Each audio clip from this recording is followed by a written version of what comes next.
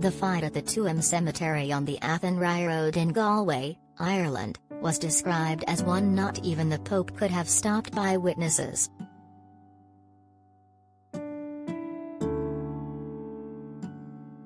Teresa Ward, 84, was being buried when two women and five men were seriously injured in the bloodbath that saw one teenage boy arrested for carrying a knife.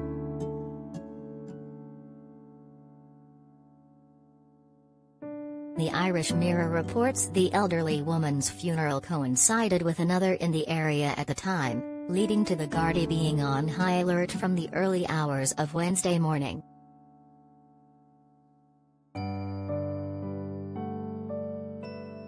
Mrs. Ward's Mass was originally meant to take place on a different day but was moved so that it would take place on the same day as her daughter's birthday who died of cancer just months previous.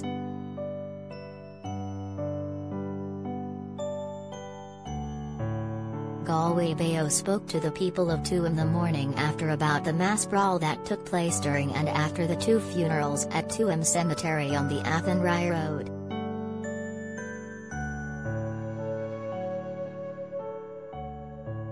Martin Anthony Ward, 35, of Ballygaddy Road, had just been laid to rest and Teresa Ward, Namanian, 84, of Kilmartin Road, was being buried on Wednesday when a group of men, believed to be unrelated to either family, began to attack mourners of Mrs. Ward's burial.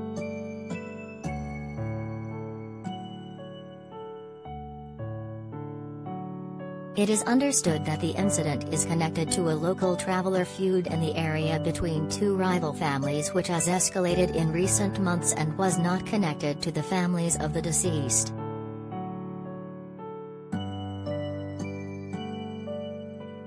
Residents in the area of Tuam Cemetery said they had noticed a Garda presence in the area from early in the morning with some becoming aware of the large operation as they dropped their children off to their minders or creche.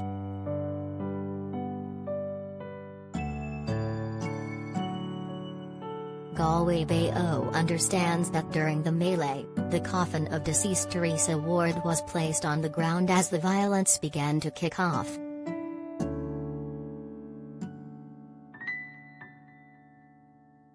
A source said, the attacks happened right away, the coffin didn't even make it into the grave and they had to drop it on the ground as the chaos unraveled.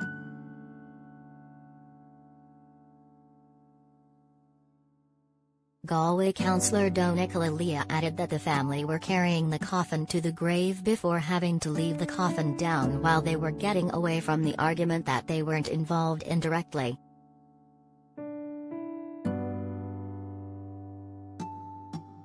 He described how the family of Teresa Ward was forced to retreat and even defend themselves from what was happening.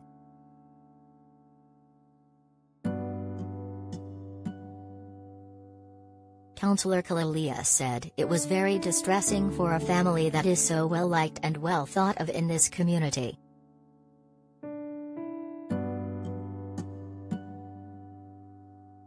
Another described Teresa Ward as a salt of the earth kind of person while stressing she deserved a peaceful send-off for all she had done for her community.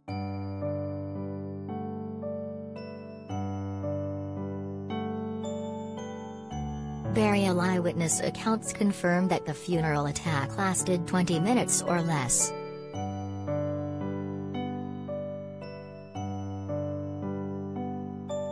They said how Father Pat Farragher tried in vain to calm matters but the scene was too chaotic.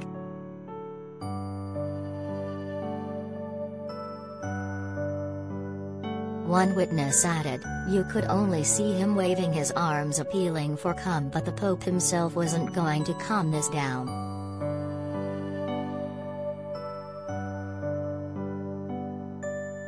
Another eyewitness said there was sporadic outbreaks of trouble and within seconds the scene became bedlam with women screaming, kids crying with one saying I saw a lad running away with his jacket torn to shreds from a knife.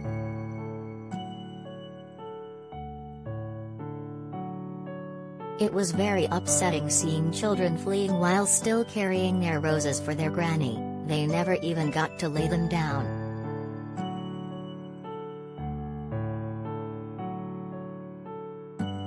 Teresa's birthday would have been Wednesday, September 22 and the funeral had been moved back one day to allow her to be buried on her daughter's birthday.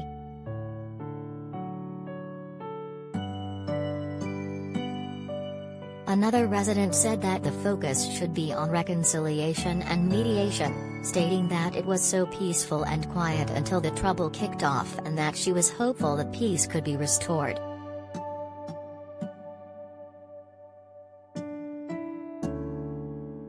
Tuam Cemetery was busier than usual on Thursday morning with two locals saying they had called in to check on their own family graves to make sure they weren't desecrated in the middle of the destruction.